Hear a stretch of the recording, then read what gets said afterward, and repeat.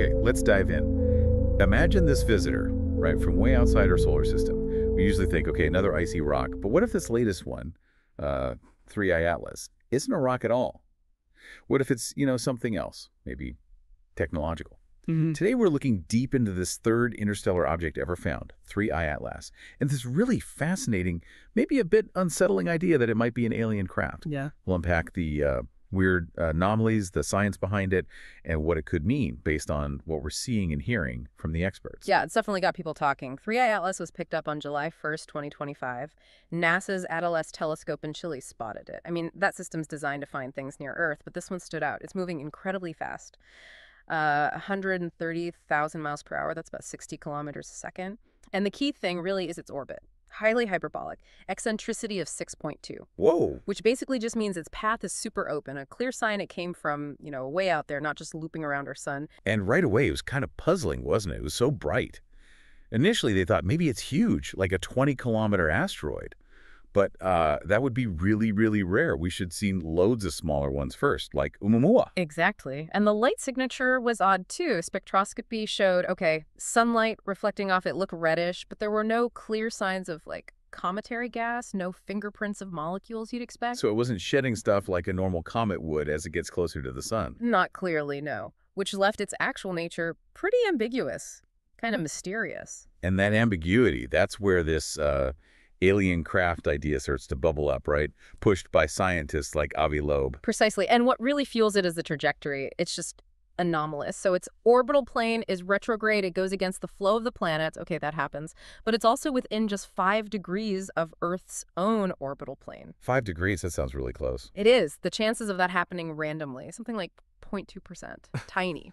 Okay, that's striking. And it doesn't stop there, does it? The close passes to planets. Right. It gets unusually close to Venus, Mars, and Jupiter. Dr. Loeb actually calculated the odds for this. I mean, if its arrival time was just random, less Okay. than 0.005% probability. Wow, less than 0.0005%. That feels deliberate, like it's taking a tour. Well, that's the question, isn't it? Why such a specific path? Could it be intentional? And then there's the timing of its closest pass to the sun, October 29th, 2025.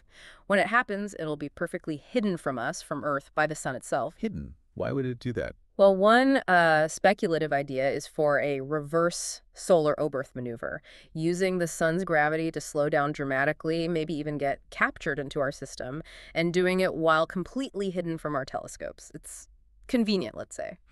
You know, it's almost impossible not to think of Arthur C. Clarke, Rendezvous with Rama. That whole story about an interstellar object turning out to be an alien ship. And didn't he picture it as a big cylinder, like 20 kilometers, similar to the size estimate for 3I Atlas, if it's solid? The parallels are definitely there, and it's a compelling thought. But uh, we need to be careful and circle back to the science. Despite these really interesting anomalies, the official classification is still comet. Many astronomers fully expect it will start acting like one, develop a big tail of water vapor as it gets warmer near the sun. Okay. Some even think it could be like the oldest comet we've ever seen, a relic from the galaxy's ancient history, maybe billions of years older than our sun. Right. And it's really important to frame Avi Loeb's perspective correctly, too.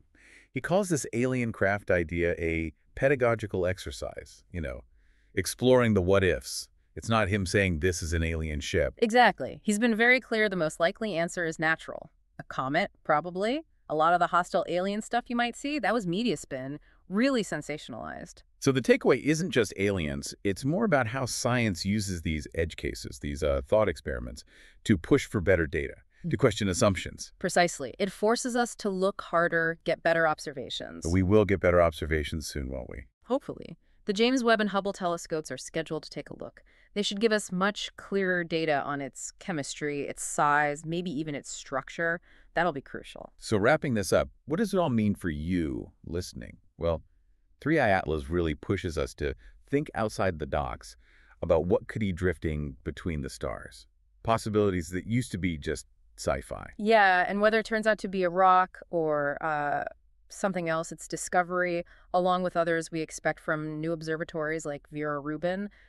It's opening a whole new chapter. We're starting to talk seriously about maybe sending probes to meet these objects, intercept them. which is a huge shift. So here's a final thought. What if the proof of alien intelligence isn't some faint radio signal from light years away? What if it's something that flies right into our own cosmic backyard? Are we actually ready to look and, you know, really learn whatever the answer turns out to be?